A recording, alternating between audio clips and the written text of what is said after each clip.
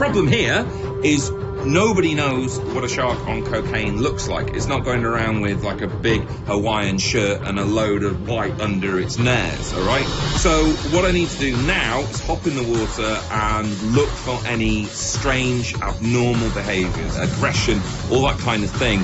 So I'm basically looking for something really weird and out of the ordinary.